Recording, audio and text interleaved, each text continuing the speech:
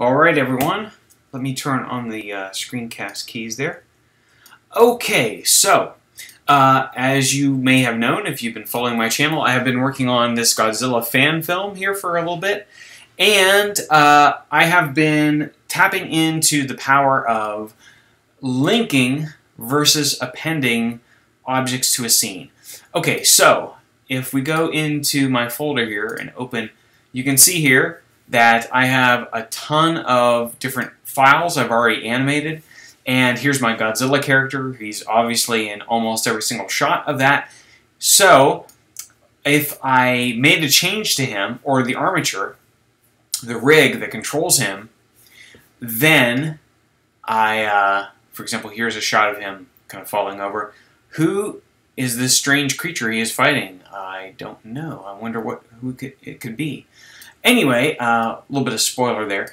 Um, so anyway, he's falling over here. Let's say that, you know, as I'm animating it, I realize that, man, I really wish I had a certain control for his fingers or a certain control for his, his you know, for his face, for his, you know, to drive the shape keys or something like that. And as I've been animating it, I realized there, there are certain things that I wish I had changed. Maybe even with the, the, uh, the object itself, maybe there's some, some different sculpting or some errors that I found. So uh, let's go ahead and start a new file here. And as you may know, if you go and want to bring in objects from a different file, you would go to append, for example, and you would select, for example, your Godzilla version 14, go into the object uh. So this is, you are drilling into the Blender file, which is a really unique thing that Blender can do. Also, if you want everything that was in that file, just go to scene instead of in the object folder and just append that scene. So you could append the, the different objects, everything that has to do with Godzilla. The armature, the body, the claws, the eyes, blah, blah, blah, blah, blah. And you could go ahead and append it. Alrighty.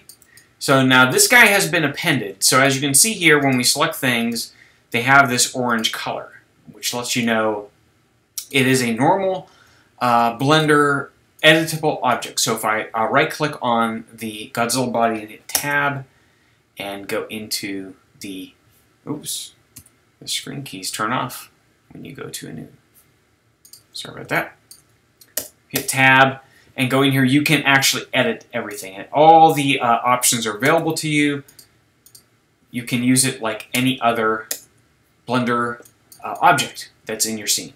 But the difference is this object is just here and, and it's, it's in this scene. It does not communicate with the previous scene where it came from. So if we want, for example, to change this object that we've animated in, in many different scenes, here's the way you do it. Let's uh, create a new scene. And instead of saying append, let's go to the link. Let's just show you, um, go to Godzilla version 14, go to Object, select all these guys, link and append. All right, now you'll see, because we link things, now they have this cold blue color. So if we hit, if we go and hit tab, nothing is happening when we right click and select the object. And even if we go to the object mode and click here, you can see everything. Editing mode, sculpt mode is grayed out. And you can see here the armature itself is also the cold blue and tabbing into that, going to pose mode, you can't do anything with it. Everything is completely blocked out. And you're saying, this is worthless. Well, not quite. So, for example, uh, meshes, mesh objects are uneditable because obviously there would be no point. Well, there would be a point if you had two-way communication between the current scene you're working in and the origin, the scene where the object originated from. I wish there was something in File here menu where you could say like send the changes back to the original scene or something, but there is not. So the point of this is that you cannot edit it because you want to edit the original scene, the original Blender file where this uh, creature came from, and then the changes will propagate to every single uh, shot or, or scene where this object is in.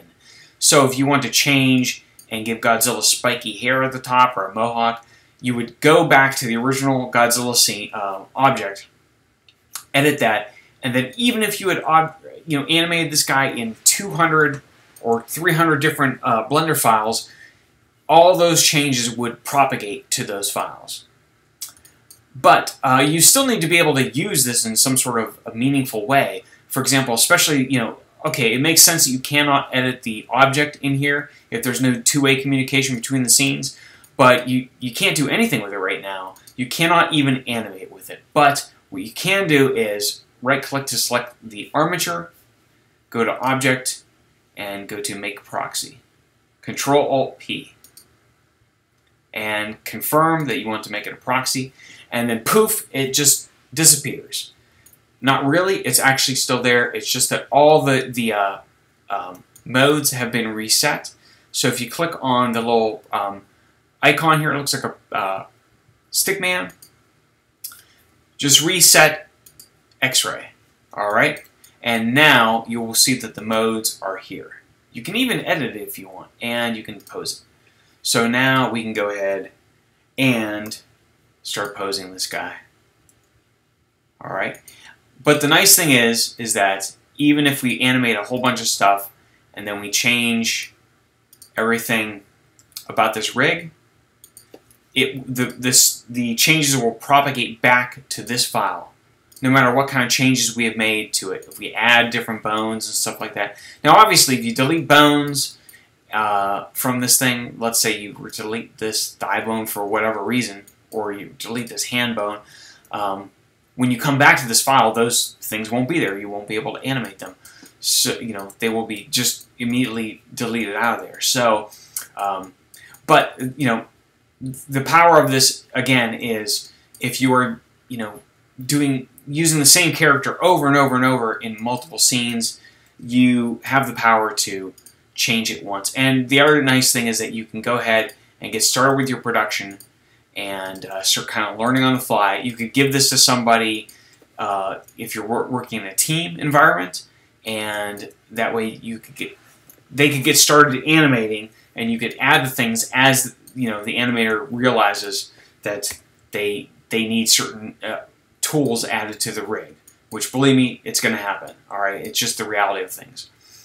Uh, the other restriction is you at this point can only have one version of the object slash character uh, in the scene at one time, you know, you, you can append as many as you want. You can append it over and over and over again. But you can only link it one time in the scene.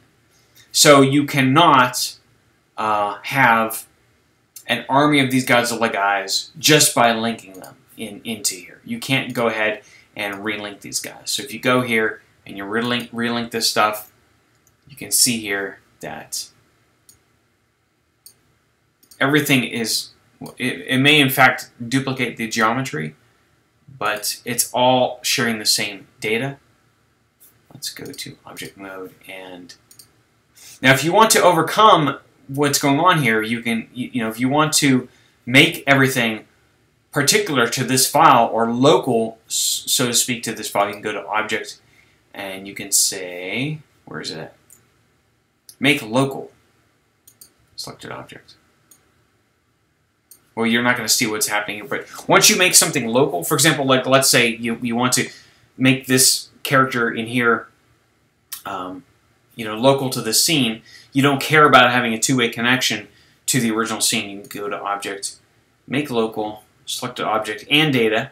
That means that all the modifiers, like the subdivision surfaces and the displacement, will also be uh, particular to the scene. You select that, and oops, because he's attached to the armature. Now you'll see that we can actually go into edit mode and we can change it within the scene. Of course, we have lost the connection to the original scene, so um, it's up to you, you know, what you want to do with it and stuff. So, uh, you know, you can go ahead, bring things in here. Uh, but, of course, the whole point of the proxy uh, of linking it is to have the power of being able to change the original scene and having those changes propagate back to all the other scenes that this object is a child of. Uh, but obviously, there's going to be times when you don't really care about it. Although, you know, really, if that's the case, you may as well just go ahead and say append, because really, you know, what, what's the point of that? So, so anyway, that is uh, part one of doing this. I'm going to show you a few tricks on how to animate these proxy objects, uh, you know, in order to make a bigger, longer production. But it's, it's quite a good thing if you have one particular character who's going to be used over and over and over again.